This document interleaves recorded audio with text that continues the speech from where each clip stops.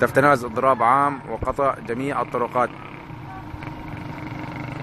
في وادي تفتناز